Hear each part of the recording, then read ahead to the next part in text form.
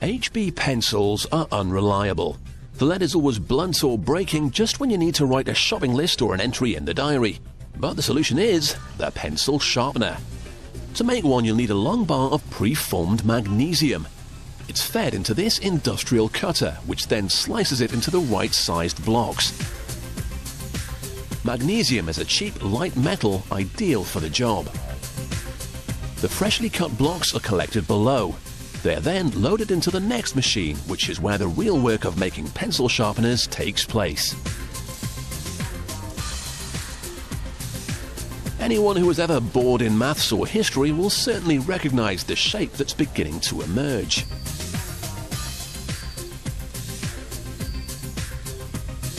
As each blank passes around the machine, it creates the main hole for the pencil, the screw hole to attach the sharpener's blade, it threads the hole so the screw will hold tight,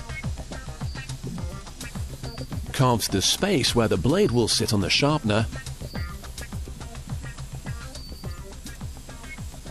and files it down to remove any sharp edges that may injure the user. The blocks look like sharpeners, but all the work has made them rather dirty, and they wouldn't go well with a shiny new pencil case. They're loaded into special baskets which will help them survive the next stage of the process, a highly corrosive bath in nitric acid. Too long and the sharpeners will dissolve, but a short bath will shine them up nicely. The blanks are then rinsed and spun to dry them. At this point you could put your pencil in, but it would come out just as blunt as it was before. The next stage is the blade. This gets cut from a long roll of sheet steel an industrial press stamps out blades by the thousand ready to be attached to the sharpener bodies.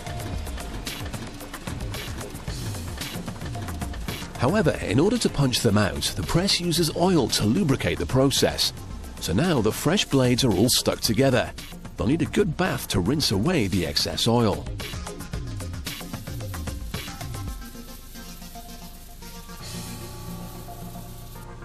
They're now heading for the ovens. Here they will be superheated to 850 degrees Celsius for 3 minutes. When they emerge, they're cooled with another oil bath, and the rapid cooling is what hardens the metal. But yet again the blades are coated with oil, so another bath is necessary. However, this time they're not washed. Instead, the blades are immersed in sand, which absorbs the oil.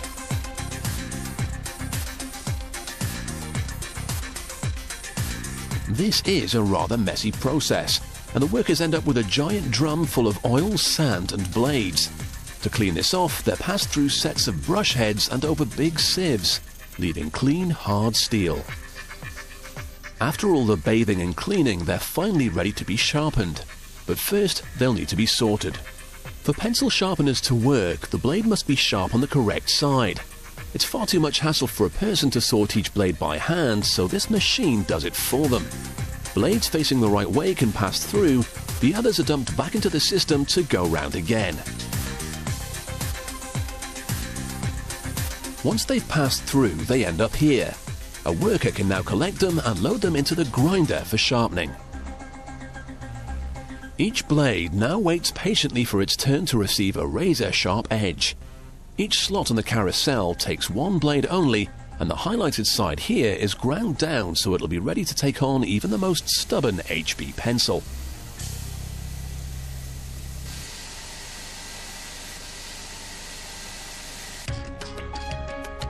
All that remains is for the sharpener bodies to be joined with the blades and the job is done. As with the blades earlier, only the bodies facing the right way are allowed through to the final stage. A tiny screw is used to connect the blades to the bodies, and that's it. Thousands of sharpeners are made every year, which help keep the pencils and the young minds of Britain sharp.